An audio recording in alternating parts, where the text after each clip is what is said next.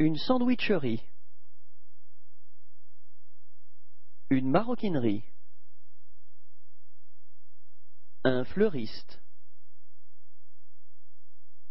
Un restaurant végétarien. Une librairie. Une fromagerie.